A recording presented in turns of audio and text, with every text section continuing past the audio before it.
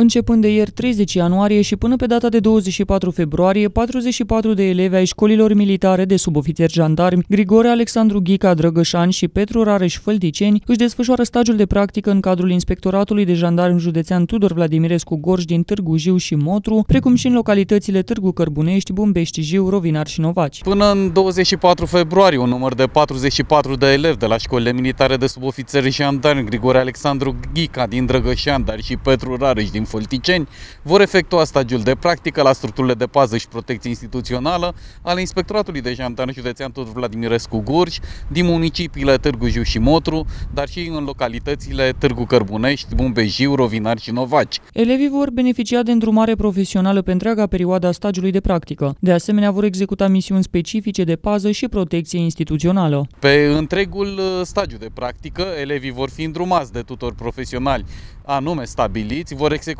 misiuni specifice de pază și protecție instituțională împreună cu aceștia, în scopul însușirii modului de acțiune în cadrul elementelor din dispozitivele de pază, dar și formarea deprinderilor practice